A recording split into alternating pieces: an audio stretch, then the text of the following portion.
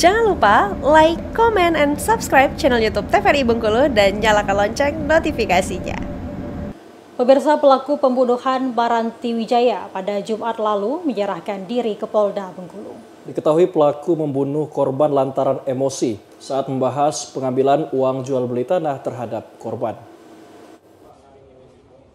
Subdit Kejahatan dan Kekerasan Jatan Ras di Treskrimum Polda Bengkulu berhasil menangkap DG, warga kecamatan Berbadi Ulu, Kabupaten Rejang Lebong.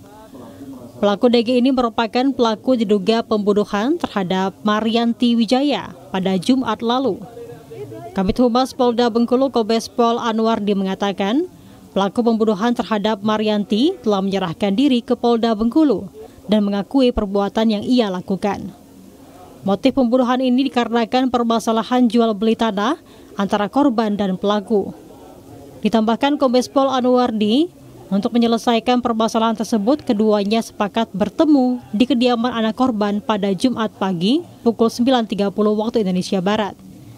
Saat tersangka tiba di teras rumah dan bertamu dengan korban, terjadi cekcok antara keduanya. Dalam situasi memanas tersebut, tersangka yang gelap mata lantas mengambil pisau yang ada di dalam tas pinggangnya dan menyerang korban hingga tiga kali ke arah dada.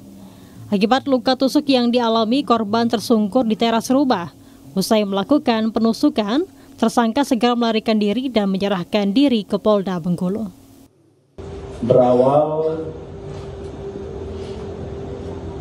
uh, antara korban dan tersangka terjadi apa uh, perjanjian jual beli tanah ya, kurang lebih uh, seluas 27.953 meter kubik atau kurang lebih 2 hektar lebih 2,7 untuk pasal yang disangkakan terhadap DG dengan pasal 338 dan 354 Kitab Undang-Undang Hukum Pidana dan akan diancam 9 hingga 15 tahun penjara. Abdi Wijaya TVRI Bengkulu melaporkan.